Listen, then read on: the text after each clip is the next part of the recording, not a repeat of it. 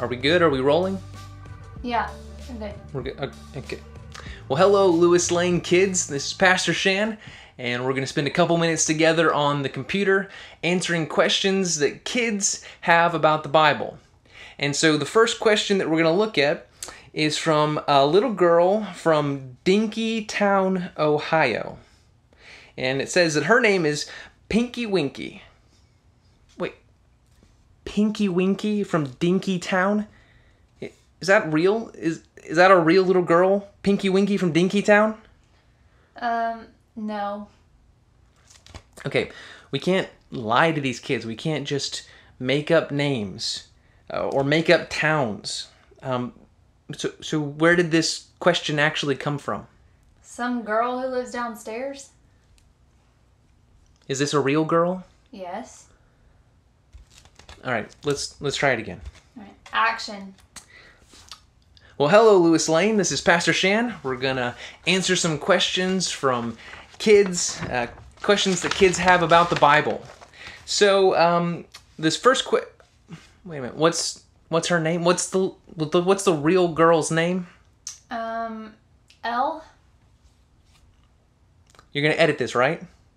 Yeah, sure. All right, here we go. Um, so, hey, kids, we got a question here from L, and her question is Dear Pastor Shan, what do we know about Jesus as a child? Well, this is a great question, L, um, and I'm excited to say that to answer this question, we have FaceTimed one of our most beloved and longest serving Sunday school teachers. We're going to FaceTime Miss Pauline Flanell and she's agreed to answer this question for us. Uh, Miss Pauline, can you hear us? Miss Pauline, maybe her Wi-Fi isn't good enough for FaceTime. Uh, Miss Pauline. Hello? Hello? Is that you, God? Is that you, God? Speak, Lord, for your servant hears you. Speak, Lord. Uh, Hello? No, Miss Pauline, it's it's not God, it's Pastor Shan. Remember, you're on FaceTime so that you can answer our question for the Bible study today. Oh, so this isn't God. No, ma'am. The phone is right in front of you. Oh, yes. Yes. I remember. Thank you. You you can begin now. Well, hello, boys and girls. I am so glad to be with you here today.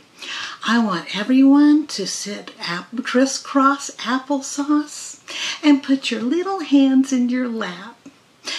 Now, Bo, you keep your hands to yourself. We can't start the lesson until you are still and quiet. Miss Pauline, all of the kids are at home in self quarantine. Bo, I said be quiet. Now, boys and girls, today we're going to talk about Jesus as a child. As many of you know, Jesus' father was Joseph, and his mother was Mary. But Mary and Joseph, before Jesus was ever born, they had to travel to a town called Bethlehem in order to be counted by the government. While they were in Bethlehem, they couldn't find a room at the inn, so they had to find a stable. And it was a stable in which Jesus was born, a stable full of smelly, stinky animals. Which reminds me, did I ever tell you about my pet bunny? His name was Fufu. He was a spirited bunny. I remember telling him, Little bunny Fufu, stop hopping through the forest, scooping up the field mice. Uh, Miss Pauline, bump- uh, Miss Pauline, you think we could get back to the Bible story? Oh, yes, I'm sorry. So, baby Jesus was born in Bethlehem. But one night, Joseph was warned in a dream that he must leave Bethlehem because Jesus was in danger. So Joseph picked up his little family, moved them in the middle of the night to a country called Egypt so he could keep them safe. And then later, here we go. he went from Bethlehem to Egypt. And then later when it was safe, he traveled they traveled all the way up here to Nazareth. Okay, boys and girls, let's go on a Nazareth trip. We're going on a Nazareth trip. We're going on a Nazareth trip. Oh, Every- Miss, Miss Pauline. Uh, um, Miss Miss Pauline. Miss Pauline.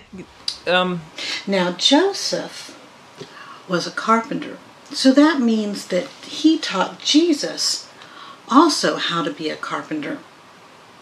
Boys and girls, a carpenter is someone who works with wood. Or it could be part of a 70s brother sister singing duo called the Carpenters. That Karen Carpenter had an angelic voice. Would you like for me to sing one of her songs to you? I'm on the top of the world looking um, down. Creation and the yeah, just- only just- explanation. Yeah, just I- mute her. Yeah. Oh, okay. That's that's good. Well, we'll check back in with Miss Pauline in just a few minutes. Um, let her maybe get that out of her system. Um, but most of what she said was was a good answer to Elle's question. It gave us a good idea about what Jesus did, or at least what the Bible tells us about Jesus as a young child. We could also look at these verses from Luke chapter 2, verses 41 through 47. Now, his parents went to Jerusalem every year at the feast of the Passover. So, this was a big Jewish festival that happened in Jerusalem, and Jesus and his family went to celebrate. And when he was 12 years old, they went up according to custom. And when the feast was ended, as they were returning, the boy Jesus stayed behind in Jerusalem. Uh oh.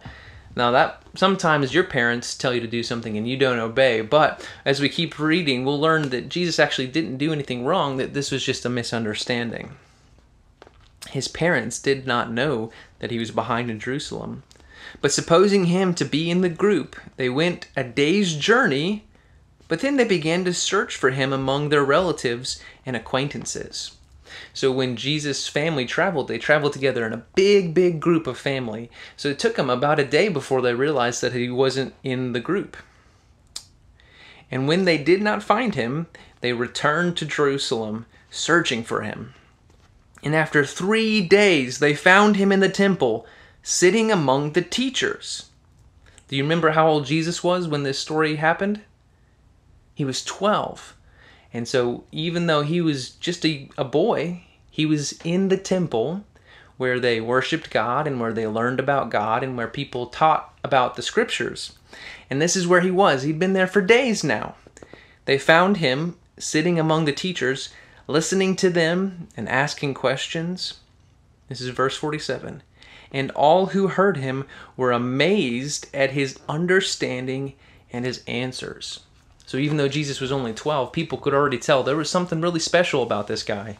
That he had incredible wisdom, incredible insight, and knowledge about God and understanding about the scriptures. Well, that's pretty cool to learn that detail about Jesus' life as a, a young boy. Um, maybe we could check back in with Miss Pauline to see if she has anything else that she wants to add to what we've learned today.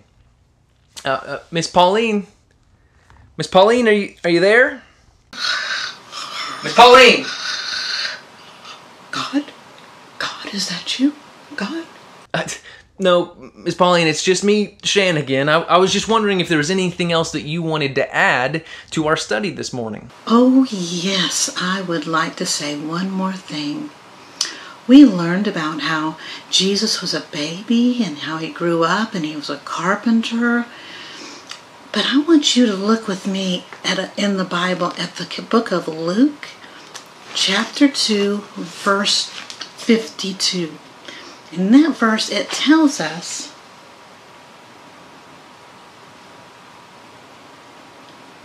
it tells us that Jesus grew in wisdom and in stature and in favor with God and man. What that means, boys and girls, is that Jesus grew smarter and wiser. and that Jesus grew up, physically grew up. And it means that he grew in favor of God, which means God was so proud of Jesus and loved him so much. And it also means that he grew in favor of men, which means the people around him truly admired and loved Jesus. Boys and girls, God wants us to grow in wisdom and in stature and in favor with God and man as well. And the way that we do that is by reading our Bibles and praying to God and worshiping with other Christian people and fellowshipping with, with Christian friends. All those things are going to help us to grow in wisdom and in stature and in favor with God and man. Boys and girls, I'm so glad that you were here with me today. And I hope that you will enjoy this time and enjoy your time in your Bible and in prayer. Thank you so much for coming. You know, Miss Pauline, that actually is a great last word for us to think about. You know, God, he, he loves each of you kids, and He wants to spend time with you. Just like Jesus was spending time with God in the temple, God wants to spend time with you as well. But because of our sins, because of um, the times that we have disobeyed our parents or hurt our friends or said things maybe we shouldn't have said, that's created some distance between us and God. And we actually need Jesus to rescue us from that sin. That when Jesus willingly died on the cross, he took the punishment for our sin so that we could be put back into a right relationship with God. And it's actually when we place our faith in Jesus and we become Christians that we can, like Jesus, grow in wisdom and in stature and in favor with God and in favor with men. It's pretty awesome that Jesus makes that possible for us, um, not only to be in a right relationship with God, but to to grow and to mature and to become the young men and women of God that God wants us to be. I'm so glad that you've um, joined us for this study. I, I, hope that you've learned a lot about Jesus as a child. I'm so glad that Miss Pauline uh, walked us through those um, important Bible stories, learning about Jesus as a kid. And maybe you could uh, find a friend or someone that you would want to share this video with and maybe you guys, uh, you and your family, can talk about it um, over dinner in the next couple of days. Would you pray with me as we close out our service? Jesus, thank you so much that we have the Bible so we can know lots and lots about you. Thank you for loving us and, and giving us everything we need. Jesus, please continue to draw these kids to you and continue to give them a desire to know about you and to serve you. Jesus, we love you and we praise you and we pray all this in your name. Amen. Well, kids, thanks for joining us. Uh, we look forward to seeing you again next time on Lewis Lane Kids Online. That was pretty good. Feel pretty good about that. Wait, are the cameras still running? Yep. You're gonna edit this, right? Yeah, sure.